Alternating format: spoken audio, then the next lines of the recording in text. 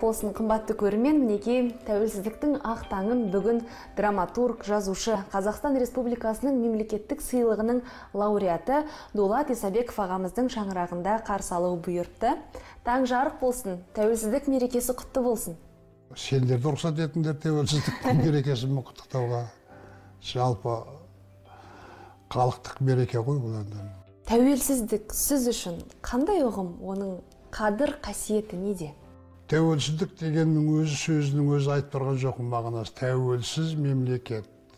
Ешкімге тәуелді емес өз күнін өзі көретін өз билігі қолында елінің тағдырда мемлекеттің тағдырда өзінің ұлан байтақ даласының да тағдыры оның байлығының да тағдыры бәрі де өзіне бұйыратын мемлекет деген сөз. Түсімізге кіруші еді біріккен ұлттар ұйымына мүше болар ма екенбіз өзіміздің туымыз өзіміздің төл валютамыз өз билігіміз өзімізде болар ма екен шекарамыз бөлек туымыз бөлек өз еліміздің өз жеріміздің өз байлығымыздың нағыз қожасы өзіміз қашан болар екенбіз деп армандап сол арманнан кейде қорқатын тұғымыз қазақстанның тәуелсіздігіне бүгін 29 жыл толып отыр тәуелсіздік қазақ әдебиетіне не берді әдебиетті қалай өзгертті әдебиетке еркіндік берді цензура жойылды бұрынғыдай емес ссср құрамында болғанда шетелге шығуымыз өте қиын болады мен өзімнен де білемін ал енді қазір еркіндік міне мен қазір шетелдермен үйімде отырып бәрімен байланысып жатырмын иә міне швед тілінде шығарылған кітаптарыңыз оның алдында ағылшын тілінде үш кітап шықты түркияда спектакль қойылды болгарияда қойылды лондонда екі пьеса қойылды петербургта үш пьеса қойылды үш пьеса қойылды қазір жазып жатқан еңбектеріңіз туралы айтып отырмыз ғой бүгін жиырма нөл нөлде ұлттық арна көрермендеріне абай телехикаясы ұсынылады. Өзіңіз осы телехикаяның экранға шығуына септігіңізді тигіздіңіз басы қасында болдыңыз.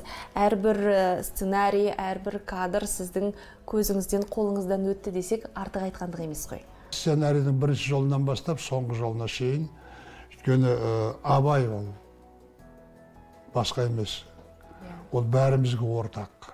Абайдың жақсы шығуы саған да маған да бүкіл қазақ халқына ортақ мүдде асыл мүдделердің бірі. Қолымнан келгенше бүкіл білгенімді салып сценарийді оқып стилистік жағынан да сөйлем жағынан да сюжет жағынан да. Мұның төркіні тереңде жатыр. Түзетулерді енгізуге тырысып отырдым. Олар қабылдап жатты.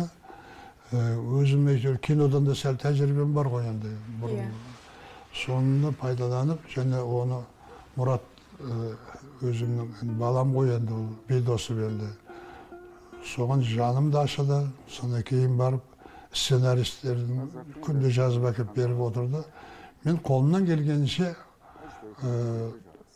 көмек беруге тырыстым қысқасы оның бәрін түгел айтпай ақ қояйын көптеген сюжеттерді айтып беріп отырдым оның қайсысы қалды экранда қайсысы қалмады білмеймін әсіресе менің қимайтын жерім абайдың ақ кемесі деген бөлім қалса екен деп отырмын өйткені абай романының екінші томындағы керемет бір эпизод бар еді абай жартастың басында отырып ералы жазығына қарап отырады ералы жазығы сағымданып теңізге айналады көз алдында сол теңізде ақ кеме жүзіп бара жатады.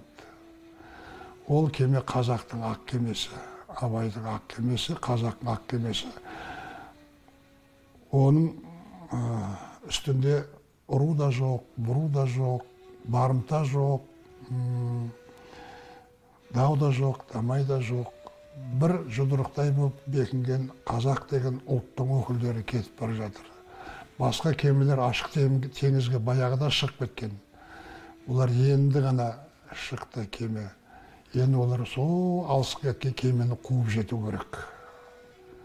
Деген абайды қиялы осы қалса бұл ғажап болар еді финалда деп отырмын енді бұл үлкен жұмыстың нәтижесін бүгін сізбен біз бәріміз экран алдында жиналып 20.00-де абай телехикаясын тамашалайық. Бүгін тәуелсіздік күні мерекесінде осындай туындының экранға шыққанының өзі бір үлкен белгі жақсы белгі сияқты. Үлкен үлкен қуаныш әрі біз күткен қуаныш. Абайды көріп жүрміз. Абайдың спектаклі бар абай туралы фильмдері бар игровой документальный фильмдер де бар. Бұл енді алты сериялық абай көптен күткенбіз енді дәл бір тәуелсіздік күні эфирге шығып отыр. Құтты болсын деймін.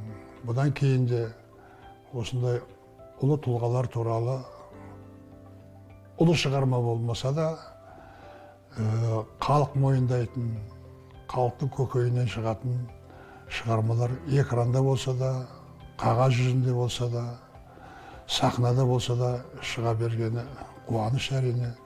Бұл тәуелсіздікті бір жаңалықпен қарсы алып отырмыз міне абай фильміменен. Басқалардың бәрін қойғанда әйтеуір тәуелсіздігіміз бәрінен ең асыл қасиет қазақ үшін ол тәуелсіздік. Бәрі үшін тек қана қазақ үшін емес.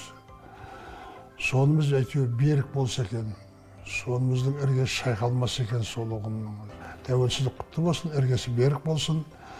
Мақтанатын тұлғаларымызды мақтана білейік оны көрсете білейік. Бүгін сұрақтарымызға жауап беріп ой бөліскеніңіз үшін көп көп рахмет.